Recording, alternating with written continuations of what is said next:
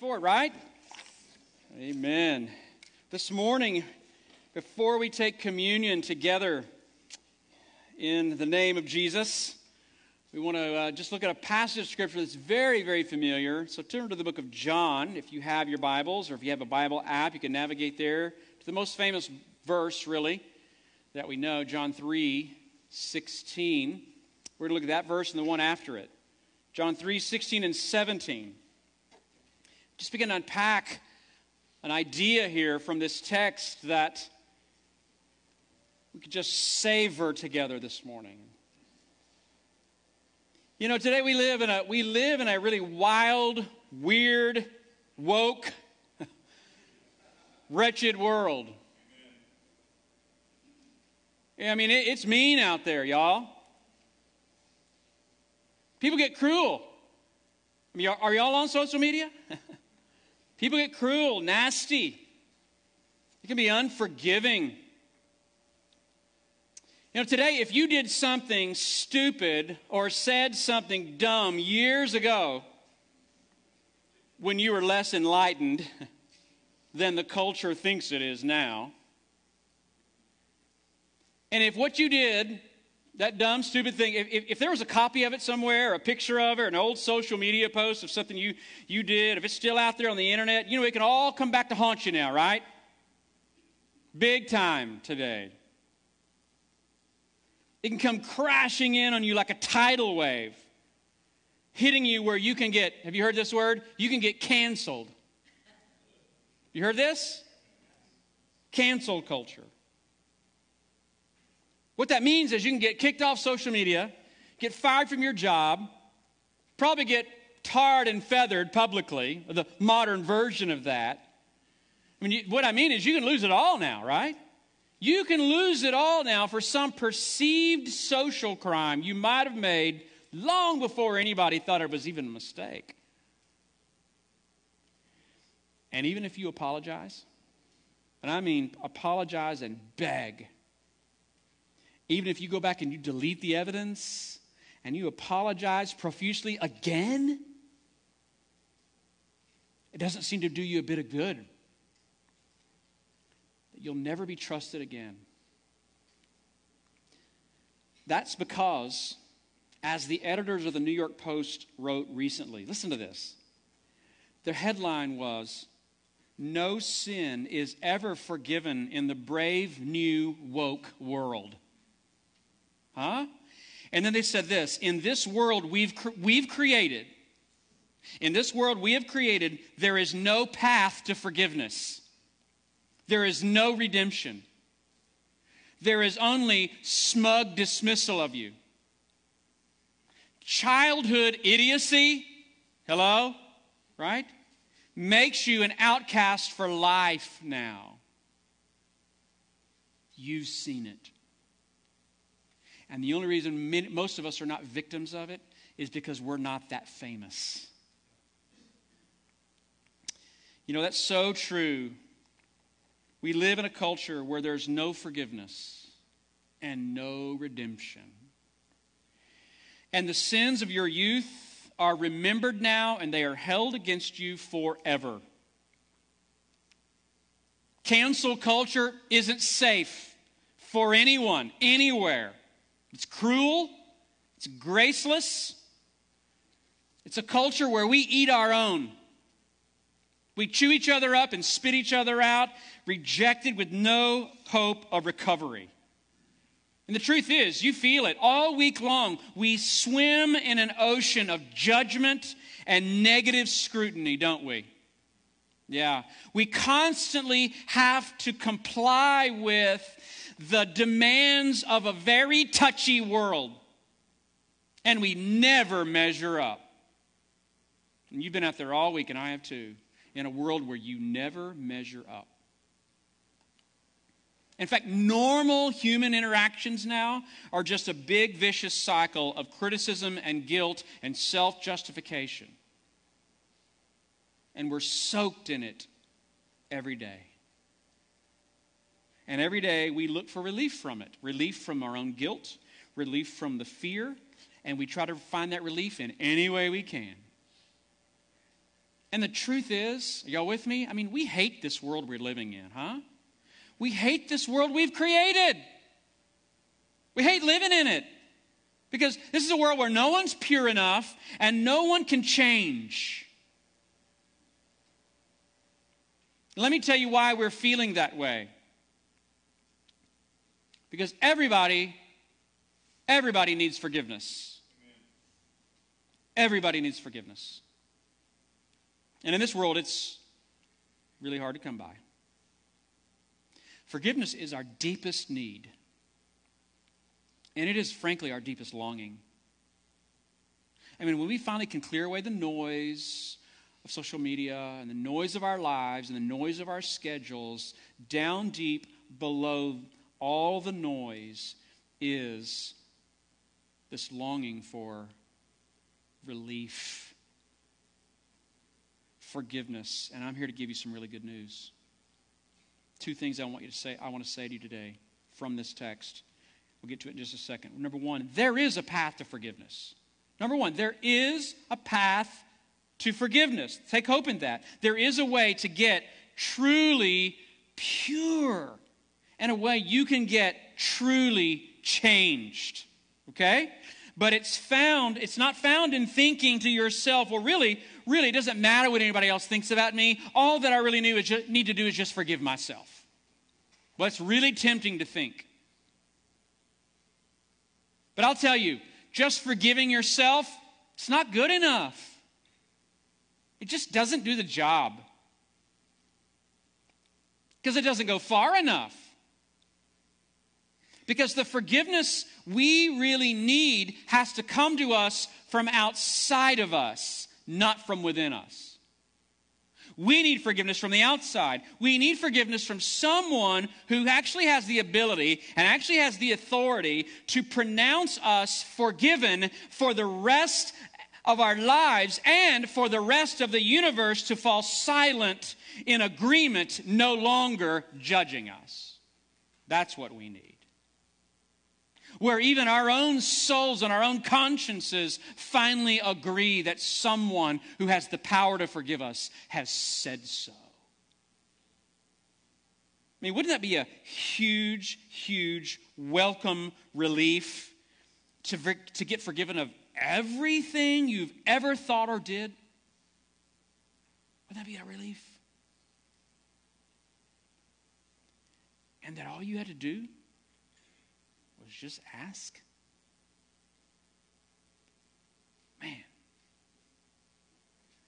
You know, that's what God has been trying to tell us for 2,000 years. That you can be forgiven of everything you've ever thought or did or wanted, and all you got to do is ask. God's been trying to say that to us for 2,000 years. That's, that's the forgiveness that's ready and waiting for us and it's completely free. Completely free. No cost to you or to me. No hoops to jump through, no payment to make, nothing to perform whatsoever. Coming to church today doesn't do it for you. Let me tell you how he can make it so free to you and to me like that because he sent someone else to make the payment. He sent someone else to take the blame for what you did for what you thought. All of it. And so, this forgiveness that's offered to you and to me, it didn't come cheap. I mean, who needs cheap forgiveness anyway? Why would we want that? The forgiveness that God offers us did not come cheap. It cost a lot to get us out of trouble. I mean, it's wonderfully free for us, but oh, so costly to God. The price he incurred is found in the words of John 3:16. Have you ever noticed this? If you've ever heard this, if you've ever seen this before in your life, these are the most famous words of the Bible it seems today. John 3:16. The price is this. Look at it with me. John 3:16 it says, "For God so loved the world that he gave his only son that whoever believes in him should not perish, but have eternal life. Those words are echoed by the apostle Paul in Romans 8:32 when he put it slightly different. He put it this way. He said, "He did not spare his own son." You know, sometimes we spend money back you remember when we used to use actual money and not swipe a card? And we would talk about, "Oh yeah, I had some spare change, something we didn't need." First of all, the price that God had to pay was so expensive, there was no spare change left in God's pocket. And yet, God did not hold back a single red cent, not a single red drop, if you will. He did not spare his own son. He didn't even hold back his own son. But it says he gave him up for us all. God didn't hold anything back. And God didn't even hesitate to put everything on the line for you and me. He embraced our condition, exposing himself, think about it, to the worst of the worst treatment by sending his own son to die for our sins so that we could be forgiven and live forever. And the high price that God paid in doing that just reveals how bad off we really are. That you and I had to be forgiven to begin with and redeemed in the first place. Some of us think really highly of ourselves. We think we're pretty hot stuff. Huh? We're all this, we're all that. The high price that he had to pay because of what we are and what we've done, how bad off we are, tells you something about us, first of all. It shows how just a bad a shape you and I really are in. And such deep, deep trouble with God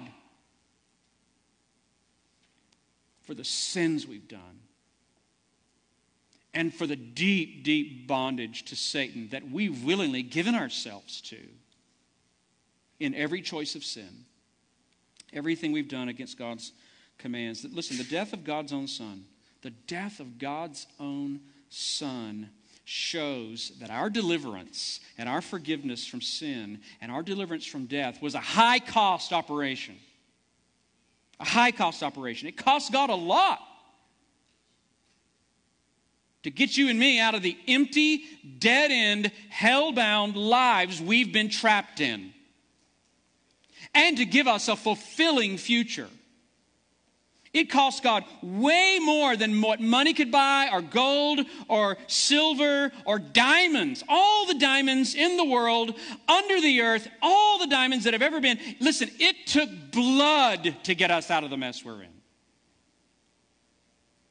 And so God paid for our crimes with the sacred blood of his own Son. And God always knew that it would, that's what it would cost him. And do you know he never flinched? He never winced.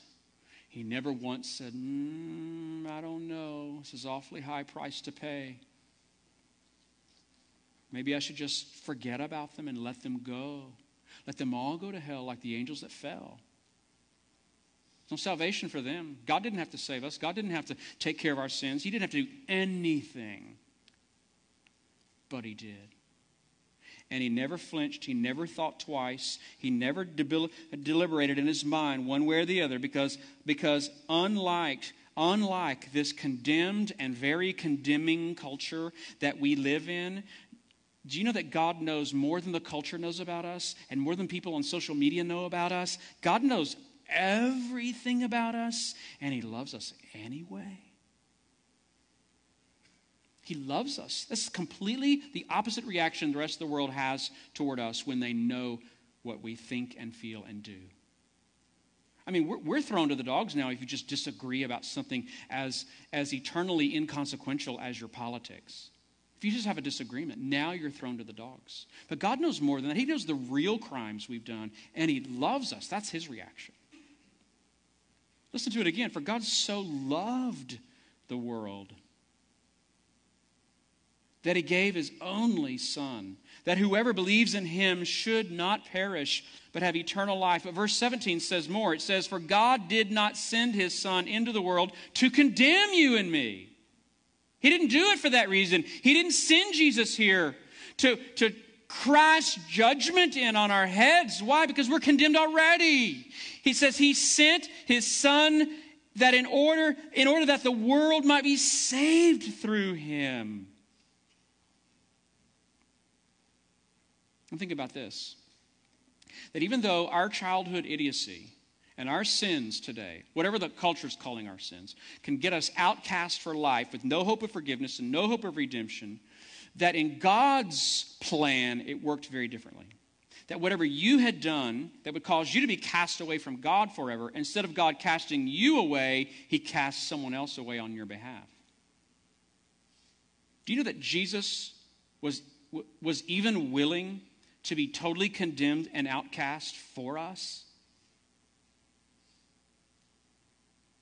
Isaiah 53 says, He was despised and rejected. A man of sorrows. What a title. What, what a description of his life. A man of sorrows, acquainted with the deepest grief. And then it says this We turned our backs on him. Ah, uh, yes, we're, we're the can- culture canceling him. See, we, we looked the other way. We were too embarrassed of him. He was despised, and we did not care. We canceled him. And why was he willing to let that happen to him? Well, for the love of you. Surely he took our pain. It didn't just get placed on him, he took our pain, Isaiah says. He bore our suffering, yet we considered him punished by God. Oh, look at him. God's really judging him. He must be some kind of bad guy. No, no, no, no. All, all of your bad was on him. That's what was going on. Stricken by God and afflicted. But he was pierced Five bleeding wounds he bears, received on Calvary. He was pierced for our transgressions, he was crushed for our iniquities. The punishment that brought us peace was laid on him. Which brings me to the second thing I want you to see this morning that Jesus died to cancel your sins, not you. In other words, Jesus now stands in our place and he takes all the finger pointing at you for what you've done and he points all the fingers at him. Points them all at himself. And he says to God, God, and he says to the devil, and he says to the rest of the world, and he says to you and to me, he says, Look away, look away from you. Look away from them and what they've done and look at me instead. I'll take the full blame. I, will take the punishment so that they get off free and clear. So you did the crime and he gets the punishment. and Jesus always knew from the beginning he was going to do this for us. This was no surprise to him in his life. And you know, he never shied away from it.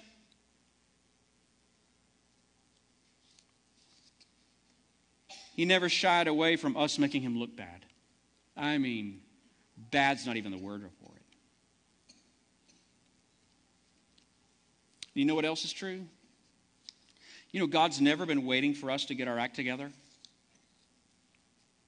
Never.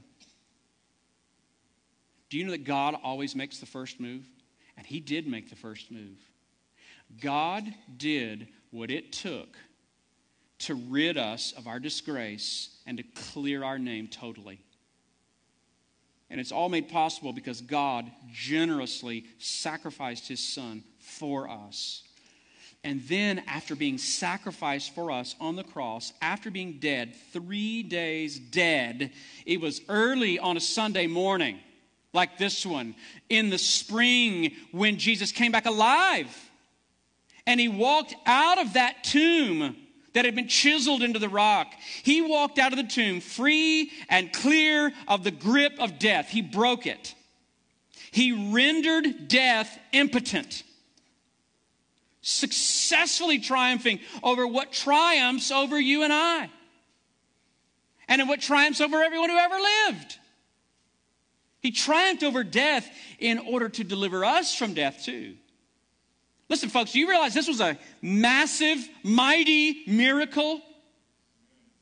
And much, much more than a miracle, because by that miracle of the resurrection, God was accomplishing something much, much deeper than just a miracle. He was accomplishing something far more monumental than merely the reclaimed life of a unique man in the Middle East. God was in that act of raising Jesus from the dead, God was orchestrating something bigger for us in that moment. For you, for me, who are here today, tired of the mess that we're living in, tired of the mess we've put ourselves in, tired of the mess of our own lives. God was doing something for us, those of us who are longing for something more. Something more than just making a living every day, something more than just another game and another day and another meal, something more than just getting by and being afraid of this world and being afraid of death. He was orchestrating something far, far more, something real, something that lasts, something that not even death can wipe out or make pointless. I mean, God knows the mess we're in. And he knows, he knows that it's far worse than we think it is. And before we even knew what we needed, God had already done what was needed. And so, in unflinching love, God sent his very own Son, Jesus Christ, to deliver us and to give us the gift that lasts forever. Listen, that's, that is the single basis that you and I have for any hope for a forgiven future with God. That's our only hope.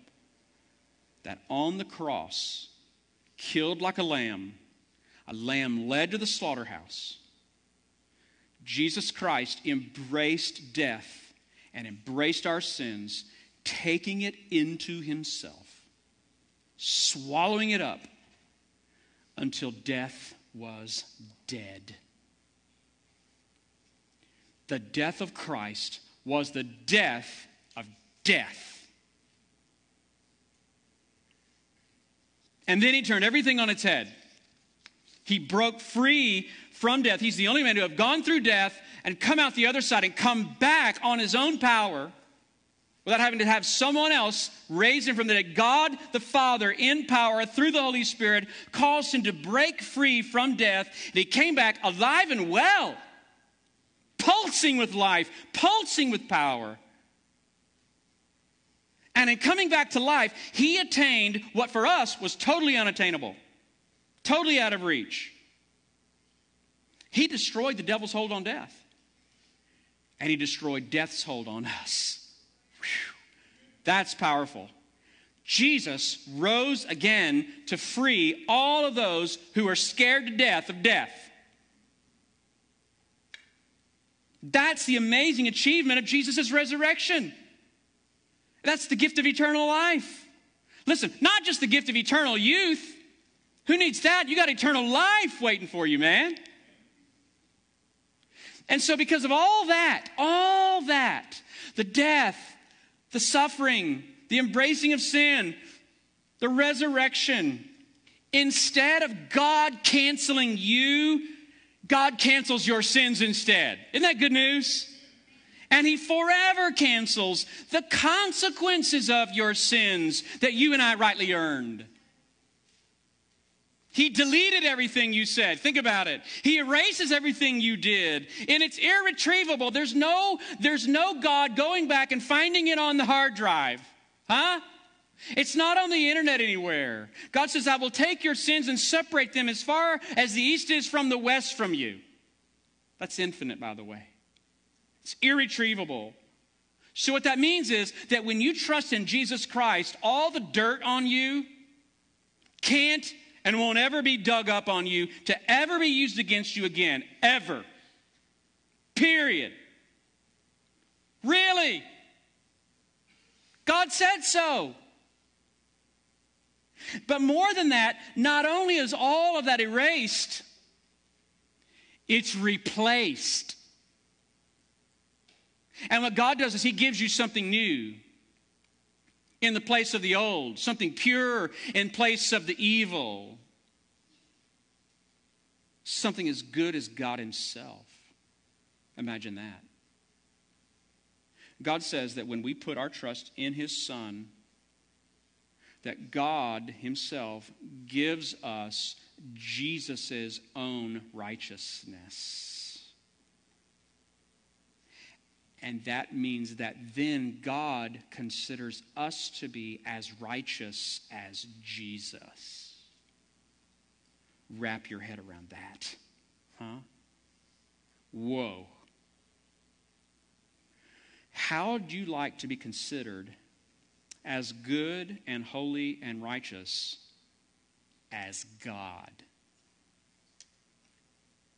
Well, that's the gift that's waiting for you when you turn away from your sins and you're wandering and you're ignoring God and you entrust yourself to Jesus Christ, devoted to Him as His disciple. Do you see, when I look outside of myself and look to Jesus Christ to take away my sins and give me God's own righteousness, no matter where I am, no matter what I'm doing, and no matter what I'm feeling, God can no longer say of me, He lacks my righteousness. So when you look outside yourself to Jesus Christ, you'll see that it's not your good heart and it's not your good behavior that makes your righteousness any better. And it's not your bad heart or your bad behavior that makes your righteousness any less. You don't make it better and you don't make it worse. Because if your righteousness is in Jesus Christ Himself, then your righteousness is Jesus Christ Himself, the same yesterday, today, and forever. And so when you see that as a gift waiting for you by faith, if, if you believe that, listen, your chains will fall off, man. And you will leave rejoicing. When it is Christ, nothing but Christ before your eyes, nothing but Christ that you trust, when it is Christ that is your life, you will finally have peace the sweetest peace you've ever known. Huh. Listen. Psalm 34 18 says, The Lord is near to the brokenhearted. You know what that means? He's not recruiting winners. He's not recruiting the people who have it all together, the people who've been on good behavior. No, no, no. His heart is drawn toward those who know they have nothing but need and have nothing but regret and guilt. He's drawn to those whose hearts have disappointment and bewilderment and fear and shame, and they feel stuck there.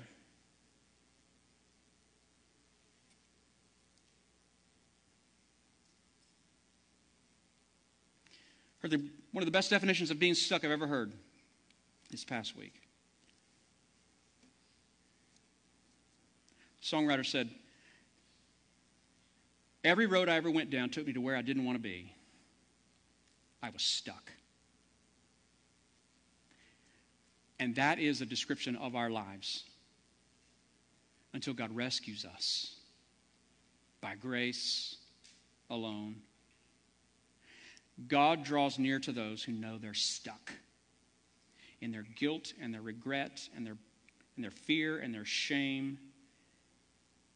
When you feel stuck, that's where He is near. And so may the Lord Jesus Christ be yours today. Will you trust Him? Let's pray.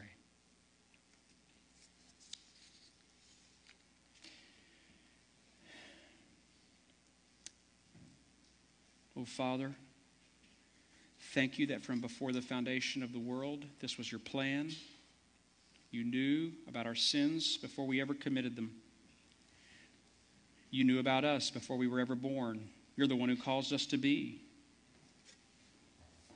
And for all these years, Lord, you have waited patiently for us to come to you,